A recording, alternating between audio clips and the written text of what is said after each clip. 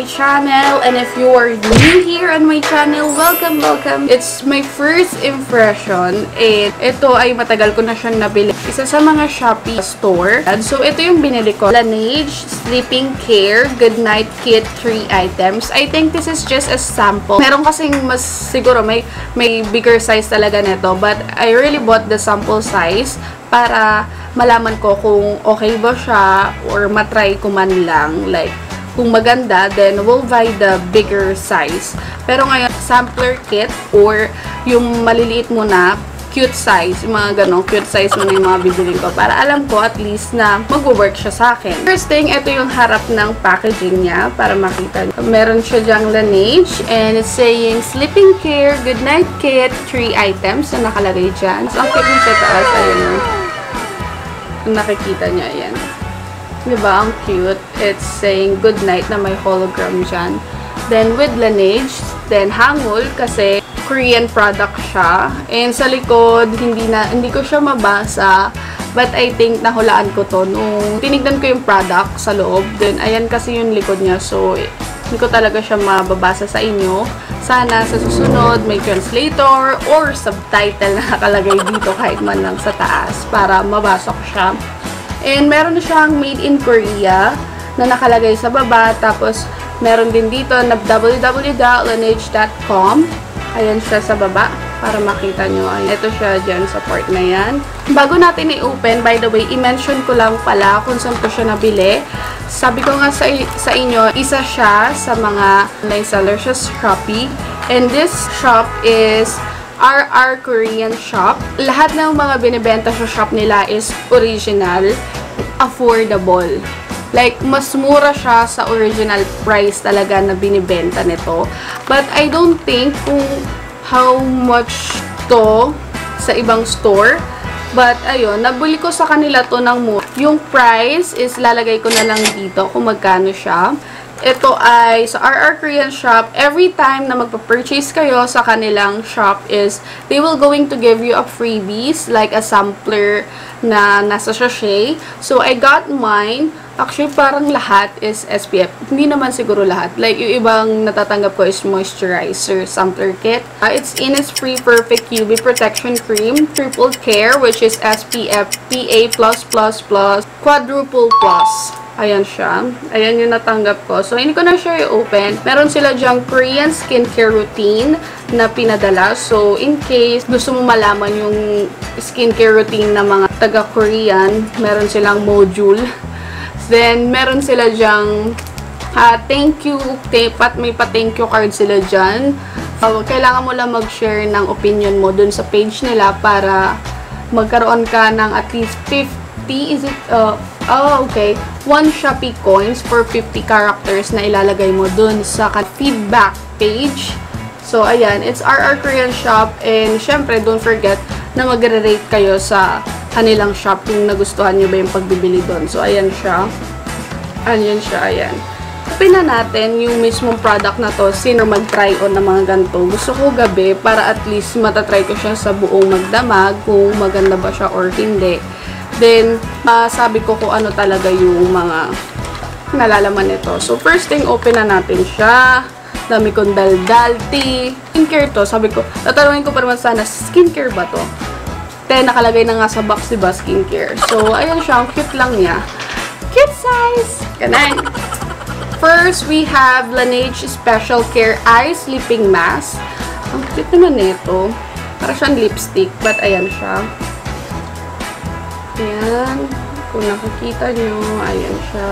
And, yung expiry date niya, by the way, will be at the bottom ng, ng packaging na to. Ayan siya. Hindi ko mabasa yung likod kasi Korean yung language niya. But I think sa likod na nakalagay dito, since ito ay stick, hmm, lakas makahula. Dito sa letter na nakalagay dito sa hangul, so I think this is 5 ml para to ay sleeping mask kasi same naman sila ng alphabetical letters dyan. So, meron din ditong same na ganun. Ayun, parang nakabold. Yung letter ng Korean Hangul is bold letter dito. Kaya parang pinagkumpara. And, I think yun yung ml niya. It's 5 ml. So, the second item that we've got is lip sleeping mask. It's, ayun, may grams na, bakit dito may nakalagay na grams? Bakit dito? Ah, ayun. Meron naman pala. Shushunga-shunga lang ako magtingin. Kasi naman, girl, ang liit. Hindi ko makita. Pero ito is a sleeping mask. I'll try this one as well. So, ayan siya. Nakalagay din dito pala sa likod. Sa, suzoom in ko na lang. This is 3 ml. So, hopefully, masum ko siya ng bonggang-bongga. Ayan siya. 3. Ang daya ng likod, oh. Ang lalim ng pagkakahugis ng bilog dito. Kaya feeling ko napakababaw lang talaga ng lip mask na to. This one is the water sleeping mask in lavender. I think it's a lavender scent kasi hindi siguro sa packaging yung lavender nito, but I think for the scent. And this is 15 ml. So, ito siya. Pakita ko muna siya sa inyo. Ayan. Ayan siya. Okay. Isusum ko na lang ng bonggang-bongga and hopefully makita siya. Ayan, 15 ml. Then, syempre yung open up na natin. And mag-start na tayo dito kasi nandito na yung pinaka-heaviest nila, 15 ml heaviest. Ito siya pakita ko yung texture. Ayan. Mahilig kayo magpahilo or lagi kayong nasa mga Nuwatay, Banahaw, Mount Albo, kung ano pang um, massage therapy. Parang ganon yung amoy niya. Music ata sa ilong ko. Oh, yeah. Then, super refreshing ng lavender niya. Hindi ganon katapang and uh, dito ko na lang kunin yung sa may takip kasi sayang baka ma-dirtyhan. Hmm, RT. Oh my Walang ng God. Oh, antik ng consistent niya. Consistent. ng consistency ng product na to. Ayan. Ayan siya. Ganyan siya. Ayan o. Ang thick. So, pag ginanya mo, pakiramdaman natin. Oh my God, kapag nilagay mo siya sa face mo, uh, it feels like malamig na gel na super lightweight. Para lang siya inaluan ng gel type and water type yung ilalagay sa mukha mong moisturizer. Oh my God, ang bango niya.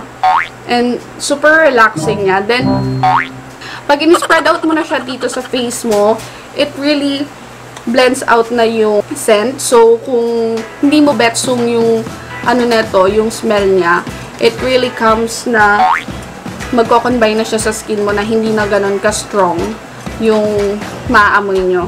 But it's mild for the lavender scent nito. So, itatry natin siya sa aking face. This is the lip sleeping mask. So, we're going to open. Kasi bakit kasi sobrang lalim? Lahat ng expiry date nila is nasa likod ha, likod ng tub. Amoy candy. Oo, amoy candy siya. Ito siya, oh, ayan, oh. Ayan. Kung nakikita nyo, mukha siyang lip balm. Ay! Kaloka, akala ko kasi di ba pag ang lip balm, kailangan ganun, ganunin mo ng bongga sa ibabaw kasi nga dry siya. Ito hindi. Ginanong ko siya ng ano, eh, kineme ko siya ng very light. Ayan, ito yung consistent niya. Ayan, oh. Pananaktik din siya. Oo, so ito naman sobrang thick. Para kang nag-lip balm ng tatlong beses. Ganon.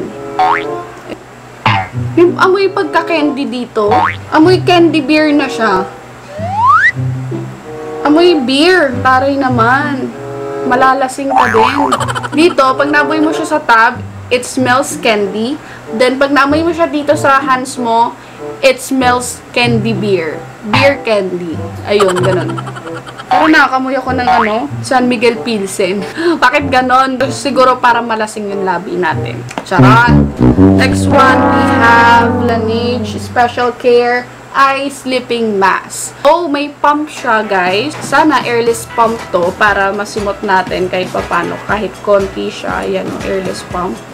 And let's pump a little bit. Oh God. What? Ayun, ayun, ayun. Nakakuha na ako ng konti. Para siyang serum. Then, let's try. Ito, parang nasa medium weight yung heavy niya. Nasa medium weight yung texture ng moisturizer nito sa eyes. Coverage, yung thick ng consistent niya.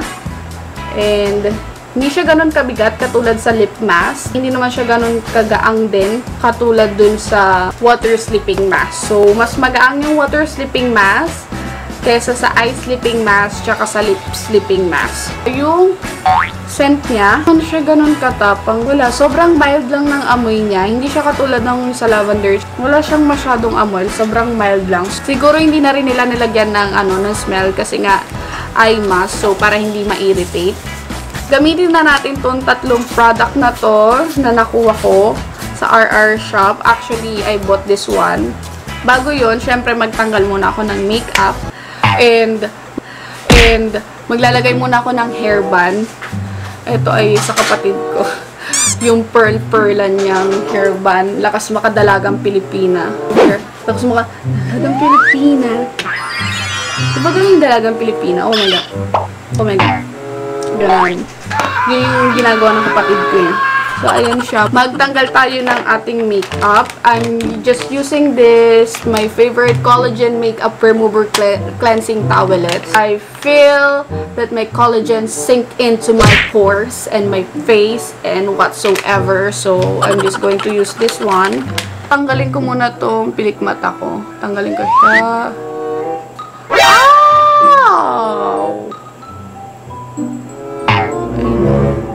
Wala lang kasama pilik mata. And itong kabila, tanggalin natin.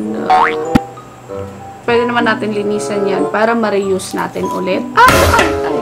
Nalaglag siya. Tanggalin lang natin yung ating makeup. Yan, pa-upper mood lahat. Pa natin.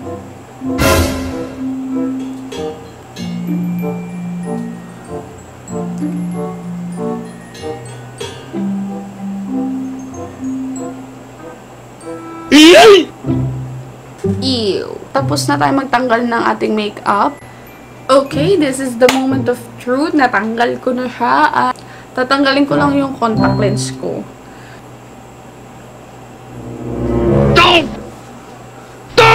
So, kunin ko lang ang aking malaking salabi. Hello! Hello! Mirror, mirror on the wall. Uh, itoner ko muna yung mukha ko. Then, babalikan ko kayo right after yung talagang cleanse na. Okay? I'll be back! Okay, so finally, natuner ko na ang aking face. Mukha lang walang nagawa, pero may nagawa. I'll just use my lip uh, sleeping mask para habang naglalagay ako ng moisturizer na to, na nabababad na yung lips ko, tanggalin natin yung mga excess. Sabi nila nakakaitim daw ng lips, ng lips yung pagdi-lipstick.